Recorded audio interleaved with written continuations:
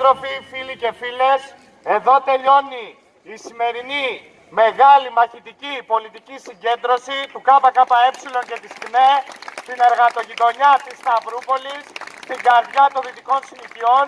Δώσαμε μια πολύ μεγάλη μάχη όλες αυτές τις μέρες, μέσα και έξω από τα σχολεία, μέσα και έξω στους χώρους δουλειάς, στις γειτονιές.